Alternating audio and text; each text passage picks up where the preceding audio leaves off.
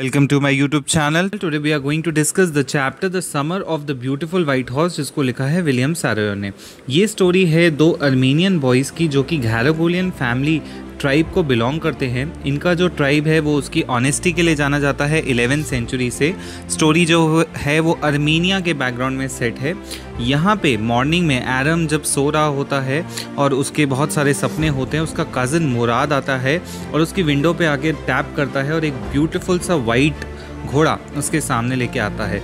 एरम को विश्वास नहीं होता और उसको लगता है कि वो सपना देख रहा है, क्योंकि उसका ड्रीम था घोड़े पे सवारी करना और क्योंकि वो लोग गरीब थे तो एक घोड़ा ख़रीदना फॉर श्योर उनके लिए पॉसिबल नहीं था। बट उसको पता था कि उसके कज़न मोराद को भी घोड़ा चलाने की बहुत दिली तमन्ना थी। क्योंकि ये लोग बहुत गरीब थे तो उसको बहुत ज़्यादा विश्वास नहीं हो रहा था बट देन उसके कज़न ने उसको इनवाइट किया और बोला कि अगर वो राइड करना चाहता है तो साथ में चल सकता है। उसने बोला कि तुम जल्दी करो ताकि पूरी दुनिया ना उठ जाए, क्योंकि ये सुबह के चार बजे के आसपास उसके यहाँ घोड़ा लेके आता है। आरम अपने कपड़े पहनता है विंडो से बाहर निकलता है, मुराद के साथ घोड़े पर बैठ के चला जाता है। वो लोग कंट्री साइड की तरफ़ जाते हैं वॉलट एवेन्यू जहाँ पर वो रहते थे। उसके बाद मुराद बोलता है कि तुम उतरो और घोड़े पर मुझे अकेले जाने दो। जब आरम की टर्न आती है तो आरम उसको बोलता है कि मुझे भी घोड़े पे राइड करना है और जैसे ही आरम उस पर बैठता है, वो घोड़ा भाग जाता है। और ये जो सिनेरियो है, ये चलता चला जाता है।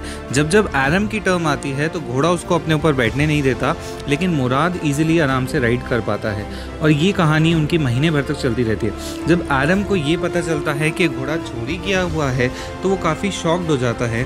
और इसके बाद टू वीक्स गुजर जाने के बाद जॉन बायरो, जो उसका एक्चुअल ओनर है, उनके घर पे आता है बात करने के लिए, अंकल खुसरोव से। अंकल खुसरोव एक बहुत ही इरिटेटिंग कैरेक्टर बताया गया है यहाँ पे, जो काफ़ी कॉमिकल है, उसकी बहुत लाउड आवाज़ है, और वो हर चीज़ में ये बोलता है pay no attention to it it is no harm Byro जब बताता है कि उसका घोड़ा मिसिंग है, और उसके पास जो सरी है, जैसा गाड़ी आप देख पा रहे होंगे आपकी स्क्रीन पर वो उसको दिक्कत होती है क्योंकि उसके पैर उसको सपोर्ट नहीं करते और वो उस गाड़ी के थ्रू ही अपना बिज़नेस कर पा रहा था। वो ये बताता है कि वो 10 मील तक चलता है तो खुसरोफ इस पर चिल्लाने लग जाता है, बोलता है it's no harm pay no attention to it Byro बहुत इरीटेट हो जाता है और वहाँ से चला जाता है। आरम जाके मुराद को बताता है और बताता है कि जॉन बायरो का जो घोड़ा है, वो तुम उसको जब तक वापस नहीं करोगे, जब तक मैं उसको चलाना सीख ना लूँ। अब यहाँ पे मुराद उसको रियलिटी का सामना कराता है कि बोलता है, तुम्हें ये घोड़ा चलाने में बहुत टाइम लग जाएगा। बट उनकी बात होती है कि सिक्स मंथ्स तक वो घोड़े को रखेंगे, उसके बाद वो दे देंगे, नहीं तो वो थीव्स के तौर पे, चोर के तौर पे दुनिया के सामने आएँगे।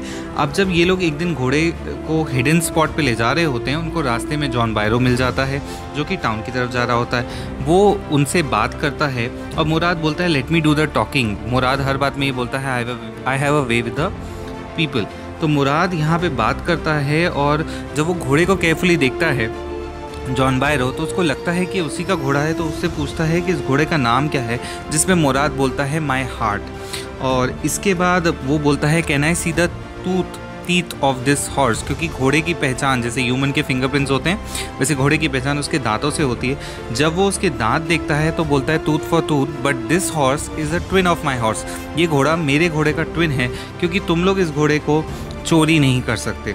और ये बात कहीं ना कहीं दोनों बच्चों के कॉन्शियस को स्ट्राइक कर जाती है।